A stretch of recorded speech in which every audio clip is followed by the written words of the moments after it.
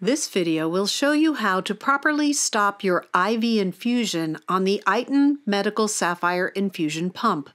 Please follow all instructions shown in this video. Administering IV medications on the Sapphire pump can be safe and easy with proper instruction.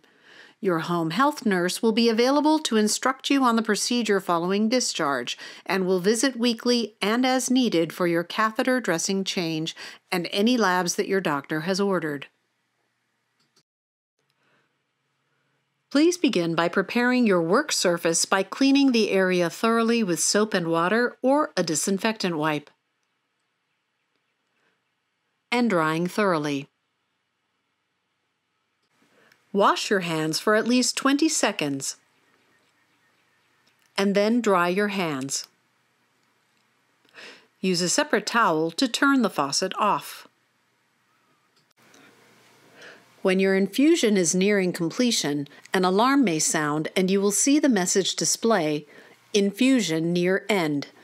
This is designed to give you a warning 10 minutes prior to infusion completion. To clear this message and the alarm, press Mute and then press OK.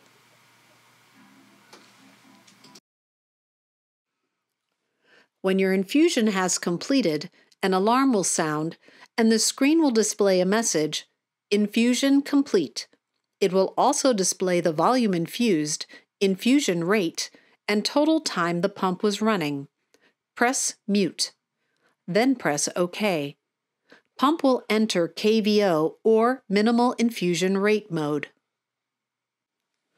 When ready to disconnect, stop your Sapphire pump by pressing Quit. The display will return to the home screen.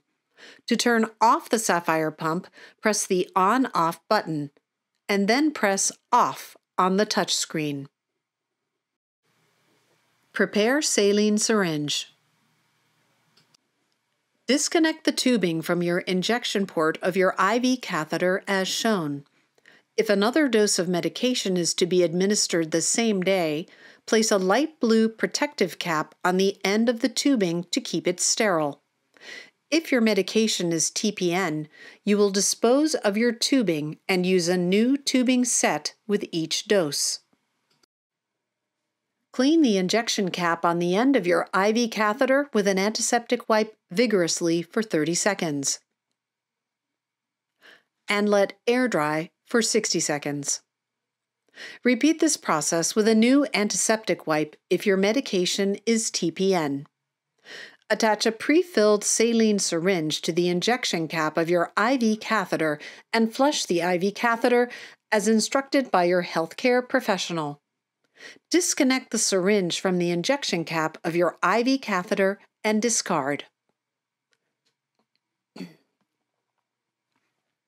Some patients will be ordered heparin for their IV catheter. If your catheter requires the use of heparin, clean the injection cap on the end of your IV catheter with an antiseptic wipe vigorously for 30 seconds. And let air dry for 60 seconds.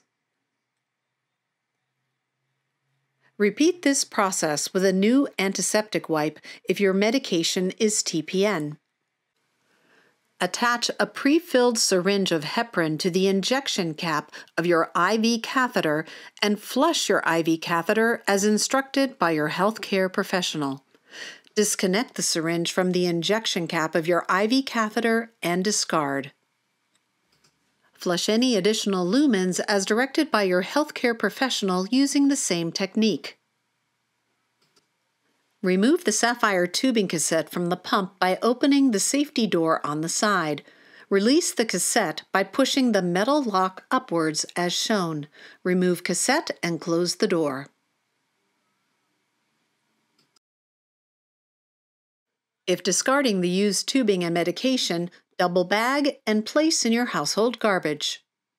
You will need to charge your Sapphire pump's internal battery with the charging cord that came with your pump. Plug the power cord into the Sapphire pump by lining up the red dot on the cord end with the arrow at the bottom of the pump as directed. Be careful not to twist or turn the cord while plugging into the pump. Instead, push the cord directly in. The yellow charge light will blink to indicate that the pump is charging and will remain steadily lit when fully charged. When charging is complete, remove the power cord from the pump by grasping the metal connector close to the pump and pulling straight out. It is recommended that you have the pump plugged in and charging while your infusion is running as often as possible. Your Sapphire pump must be plugged in for a minimum of six hours a day to maintain its charge. After you care for your IV, always wash your hands thoroughly for at least 20 seconds. IV medication supplies are single use only and should be disposed of after one use. Proper administration of your IV medication at home is important for your safety. Please call your pharmacy if you have any questions or concerns at all while administering the medication. We are available 24 hours a day, 7 days a week. In the event of an emergency, always call 911.